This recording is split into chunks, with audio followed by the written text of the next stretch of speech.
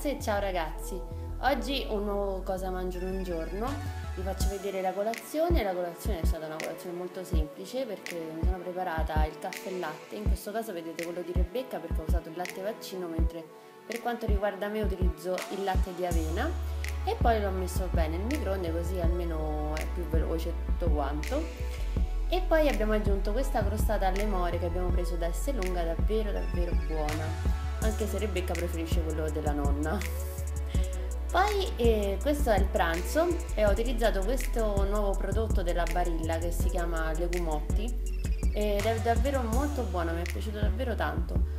Ho preso delle verdure che queste qua però erano surgelate e le ho messe in padella, ho acceso l'acqua per cuocere i legumotti e, ed ecco qua pronto il piatto, quindi ho aggiunto queste verdure accanto che c'erano comunque melanzane, zucchine, le patate e insieme questi legumotti. Devo dire che come mix ogni tanto mi piace, non è comunque un piatto troppo pesante, mi è piaciuto molto. Poi il pomeriggio sono andata al bar e ho preso un caffè, sono andata al mio bar preferito che è il bar eh, di mia zia. E ho fatto questo caffè bravissima con, eh, con, il cacao perché sono golosa e quindi ho detto mettiamo una spruzzatina di cacao sopra questo caffè va. Facciamo un piccolo dolcetto minimo proprio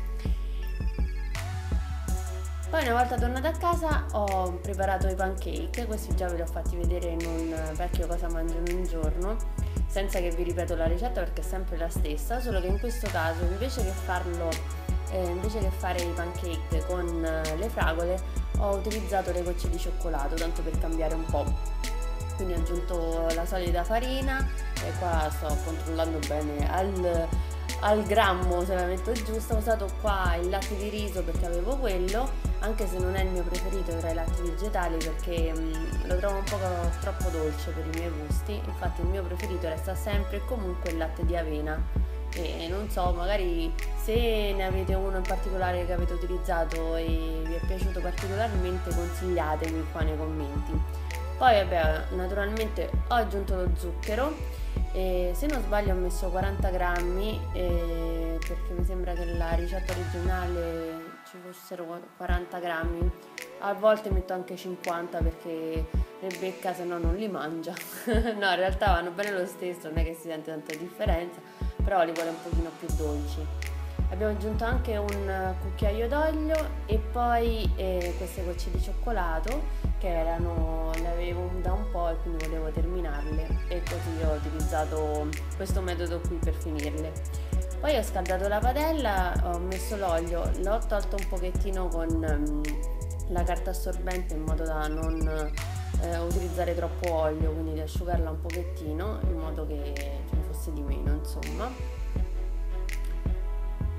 E poi niente, piano piano eh, ho aggiunto, ho aggiunto pancake, eh, la miscela che insomma ho creato ho cercato di essere abbastanza attenta, solo che la padellina in realtà era troppo piccolina, ne ho comprata una nuova su Amazon proprio per fare i pancake. Eh, perché sto andando un po' in fissa con i pancake, li mangio molto spesso e ho preso una padella più grande così sono un po' più facilitata nel farli, così è un po' più complicato perché c'è il rischio che comunque si attacchino uno con l'altro.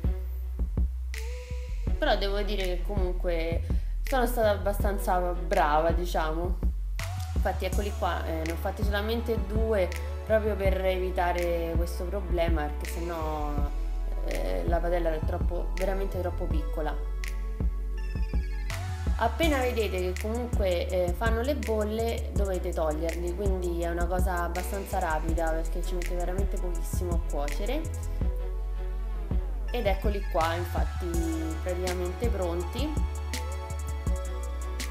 e questo è il piatto finale. Ho aggiunto anche lo sciroppo d'acero, non so se ci sta bene lo sciroppo d'acero con questo tipo di pancake, però vabbè ce l'avevo, l'ho aggiunto tanto per far qualcosa, metterci qualcosa. E ora passiamo invece alla cena. La cena abbiamo fatto una cena un po' così, un po' più particolare. Abbiamo preparato questi fagioli con una passata di pomodoro, il basilico con varie spezie. E poi dopo ho comunque preparato l'avocado perché volevo fare dei toast. Infatti ho tostato il pane e poi dopo piano piano eh, ho messo sopra il toast l'avocado ben schiacciato.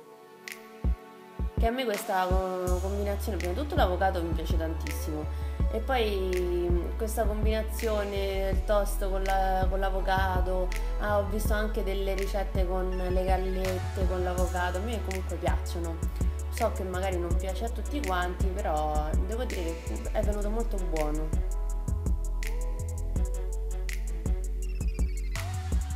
Poi ho aggiunto l'olio. Un goccettino proprio poco poco. E poi naturalmente sale e i semi di, di chia, di chia, ancora non l'ho capito come si dice.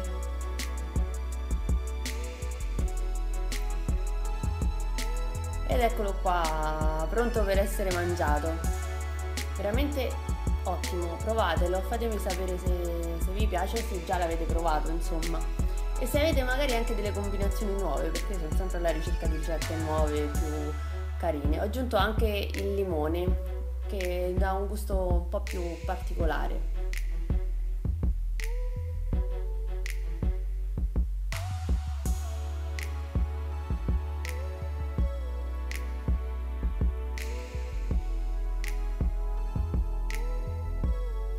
Ed eccoli qui i due toast che ho preparato, veramente veramente molto buoni poi abbiamo preparato anche dei finocchi, questa era la cotoletta rimasta di Rebecca, e ci abbiamo messo vicino pure quella, abbiamo registrato pure quella e i fagioli. Io spero che questo video vi sia piaciuto, e se vi è piaciuto lasciatemi un like, iscrivetevi al canale e noi come sempre ci vediamo al prossimo video e al prossimo Cosa mangio in un giorno. Ciao ragazzi e ragazzi!